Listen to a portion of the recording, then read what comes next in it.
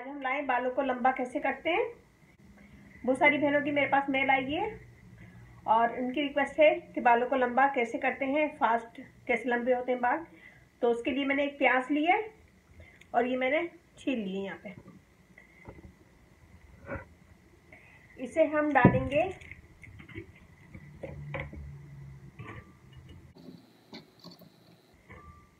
एक ग्राइंडर और इसे मैं डाल के, थोड़ा सा पानी डाल के इसको मैं पीस लूँगी। ये देखिए ये देखिए जी, हमने इसे पीस लिया है और मैं इसे छान लूँगी।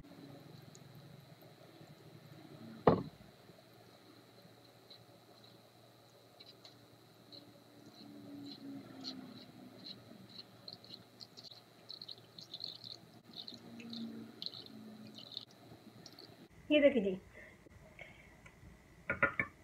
इसको, ये जो पानी निकला है, इसको सर में लगाएँ। सर में लगाने के बाद अच्छे से सर में मालिश करें, सर की जड़ों में मालिश करें इससे। इसकी थोड़ी सी तेज़ी तो होती है लेकिन ये बहुत फ़ायदा करता है। इसको सर में लगाएँ, सर में मालिश करें अच्छा सा, और मालिश करने के बाद 20 मिनट तक छोड़ दें और सर को कवर कर लें ताकि स्मेल ना आए उसकी प्याज की। और जब भी थोड़ा सा ड्राई हो जाए तो नीम गर्म पानी से सर धो लें, शैम्पू कर लें। और ये वीक में दो दफ़ा कीजिएगा। इससे बाल अच्छे, घने, लंबे होते हैं और आप खुद देखिएगा, फ़र्क आपको खुद महसूस होगा, लेकिन इसको वीक में दो दफ़ा कीजिएगा।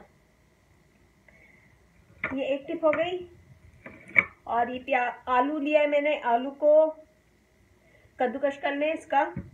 कद्दूकश करने के बाद इसको अच्छा सा इसका भी जूस निकाल लें।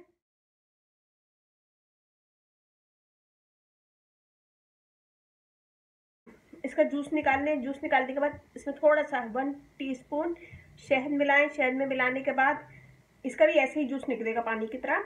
शहद मिलाएँ वन टीस्पून आलू के जूस में वन टीस्पून शहद मिलाएँ। शहद मिलाने के बाद आ, सर पे लगाएँ तीस मिनट के बाद नीम गर्म पानी से सर धो लें और इस इस अमल को आलू वाले अमल को हफ़्ते में एक बार कीजिएगा। इसको दो दफ़ा कर सकते हैं।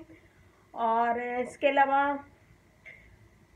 जब भी शैम्पू करें तो कंडीशनर ज़रूर यूज़ करें, वीक में दो दफ़ा शैम्पू करें और कंडीशनर ज़रूर यूज़ करें।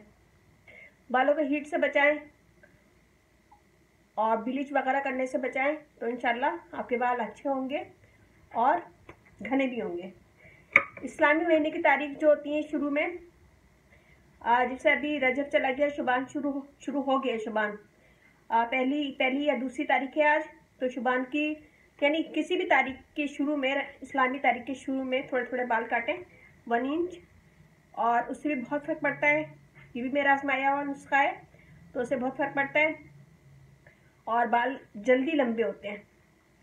आप जितना बाल काटेंगे, यानी इतने बाल काटेंगे तो आपके बाल जल्दी ग्रो होंगे। तो ये कीजिएगा, और जो बताएगा कैसा लगा, कीजिएगा कमेंट दीजिएगा, मेरी वीडियो को अपनी फैमिली फ्रेंड में शेयर करें। और अब इजाज़त दीजिए। अल्लाह हाफिज़।